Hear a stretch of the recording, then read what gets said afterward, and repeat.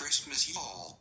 This video is mostly for those who are spending Christmas alone for whatever the reason may be. Also for those who may be surrounded by people physically and still feel lonely on the inside. But first I want to say I hope those who are fortunate to be surrounded by family and or friends have a wonderful Christmas. Now I want to talk to you who may be watching this video because you are lonely and sad. First I want to say I know how it feels and it sucks. I have been in both scenarios.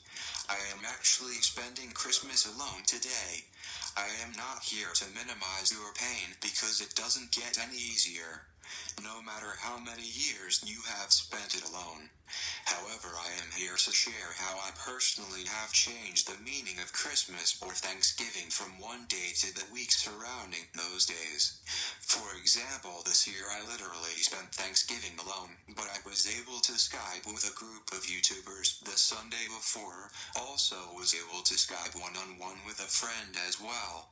The Monday afterwards, I was able to attend softball and be surrounded by a great group of guys. Same with Christmas. I actually just got back from five days in Arizona this past week.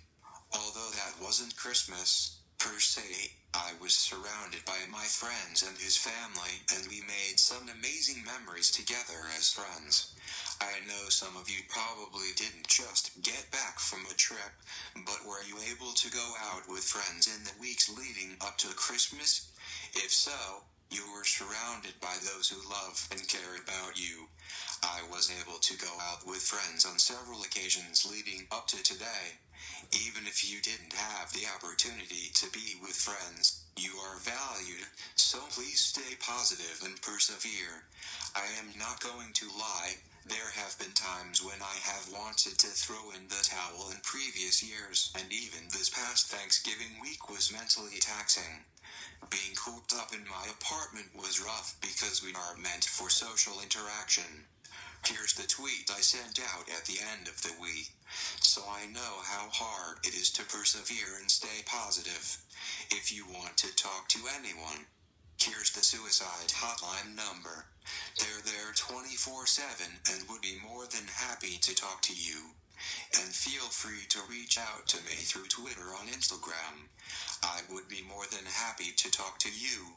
Above all else, regardless of why you are spending Christmas alone, you're valued, unique, and one of a kind, as Roman would say.